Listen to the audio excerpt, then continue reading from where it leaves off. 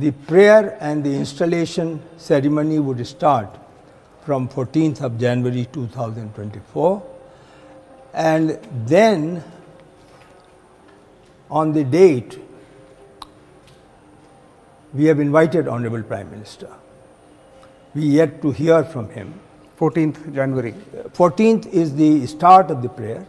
After that, until going up to 24th, any day that he decides, we will do the final pran pratishtha when the Lord will show up here.